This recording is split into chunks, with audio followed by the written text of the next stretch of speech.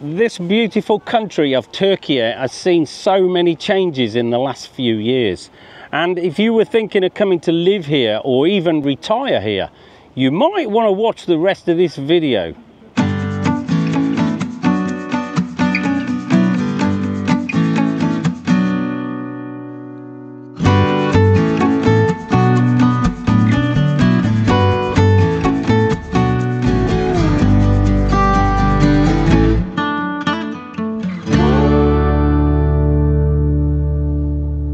Last couple of years, there has been a big shift in the economy here in Turkey and new rules have been enforced on immigration too, which might affect anyone that's thinking to move here or planning to retire here, which we're going to talk about a bit later on in this video.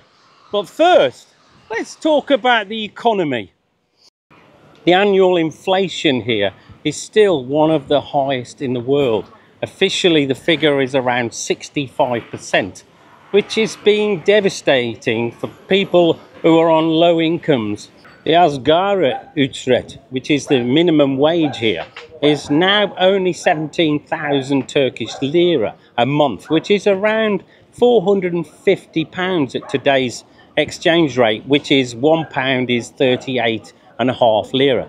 Of course, the foreign exchange rate has kept pace roughly with inflation over the last year, but prices will still feel expensive for tourists who come here, but still lower than most other destinations. So let's go and have a quick look at the prices in this shop here. This is BİM, which is one of the cheapest shops here in Turkey. And just compare yourselves to your prices back home.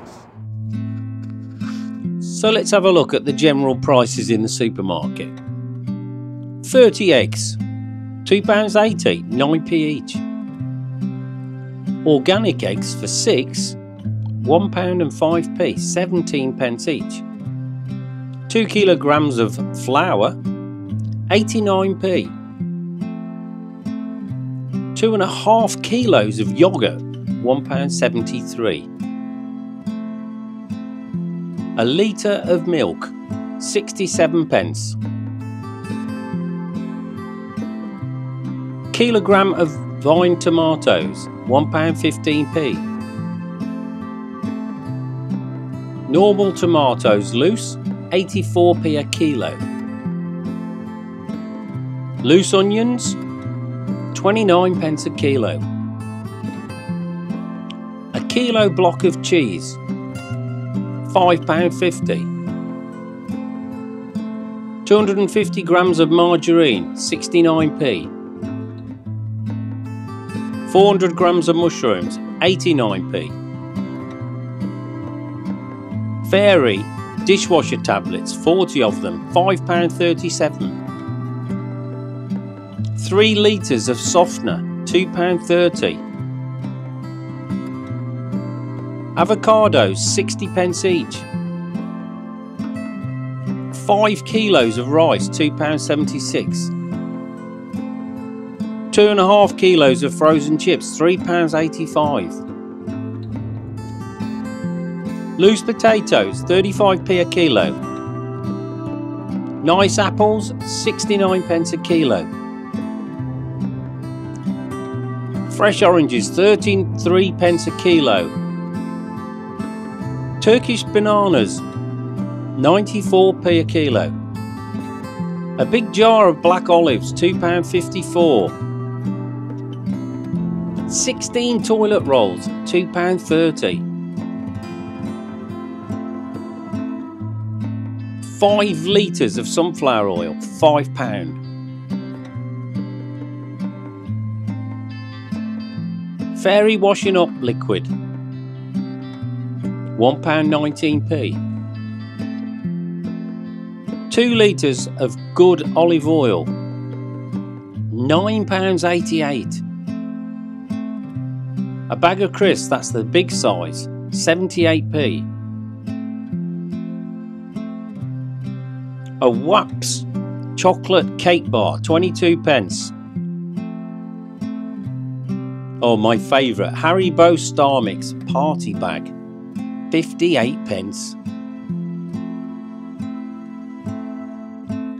A large tin of tomato puree, 87p. Kilo of chicken breast fillets, £4.34. 400 grams of minced beef, £3.46, that's £8.66 a kilo. If you come into the local bakery, for instance, we'll just have a look at the price of the bread. Now, this is a really lovely bakery too.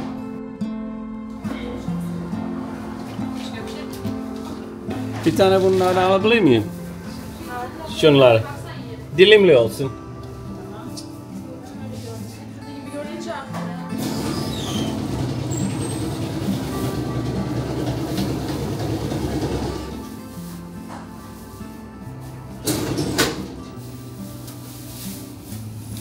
Günlük ekmek ne kadar? 10. 10 lira değil mi? Tamam. Yok on yukarıdaki alayım ben. Sağ ol. So that's two lovely loaves of fresh bread for 60 lira. That's about one pound fifty. Now that's quite a lot of money for Turkish people, but obviously for foreigners, not a bad deal. So this is Metro, which is a bit like Booker's in the UK. Um, and you can buy what they call toptan here. It's whole, wholesale place as well as being open to the public. So they've got 600 gram Nescafe, a big bag here, 600 gram, and it's 338 lira. They've got a pretty good fish counter here too, and of course they clean the fish for you. So this is chupra, which we call sea bream. A kilo price is £7 and 10p.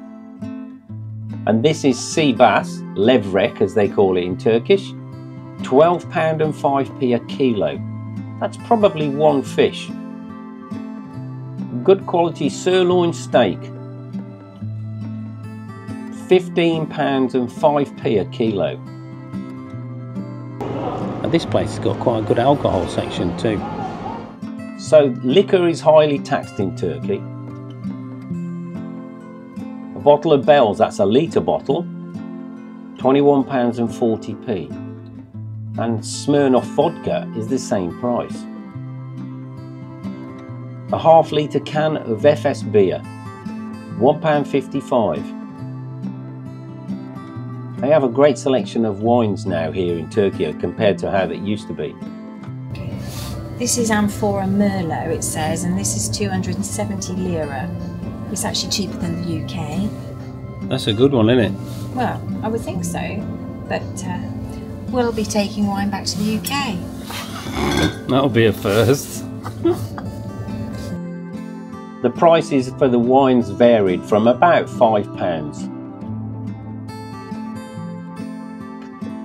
Six two and a half litre bottles of Coca Cola, £6.50. That works out at just over a pound a bottle. So, how do those prices compare to where you live? Let us know in the comments. So, the prices in the restaurants have gone up too, and the cheapest I could find beer in the middle of Fethiye is in this place, Karma. How are you, mate? I'm good, thanks, mate. How are you? One of the cheapest places in Fethiye for beer. How much is a beer here in Efes? 85. 85 Turkish lira. Draft lira, um, draft beer 85. House wine 85. Wow, brilliant. £2.20 in good old English money. Beer prices in the other restaurants and bars varied from 100 up to 200 lira.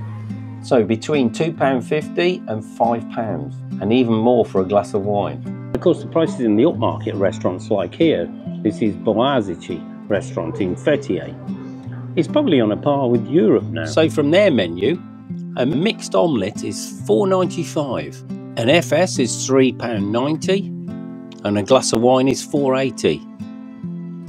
A tuna salad is £6.60, a steak Diana £15, chicken shish $7.75, and a mixed pizza 9 quid. And a cheeseburger £6.70. An Americano coffee at Starbucks, a medium size is £2.70. But there are some cheaper fast food places like this one.